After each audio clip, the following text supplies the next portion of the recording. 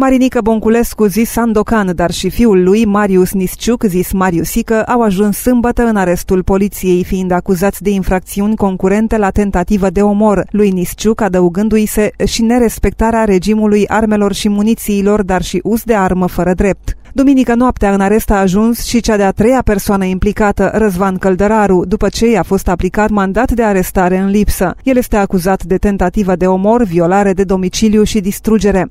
Polițiștii în cadrul biroului investigații criminale au reținut pentru 24 de ore și introdus în centrul de reținere și arestare preventivă Alipe Gorj doi bărbați de 31, respectiv 54 de ani, bănuiți de săvârșirea infracțiunilor concurente de tentativă de omor, tulburarea ordinii și liniștii publice, nerespectarea regimului armelor și munițiilor, uz de armă și distrugere.